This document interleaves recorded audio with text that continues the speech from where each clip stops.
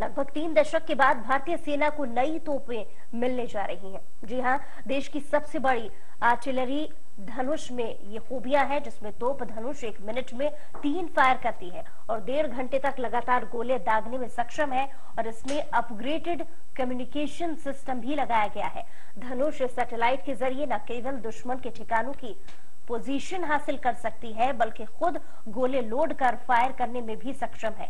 38 kilometre दूरी तक निशाना साधने वाली इस एकमात्र गन की तैनाती पाकिस्तान और चाइना से लगी सरहदों पर की जाएगी।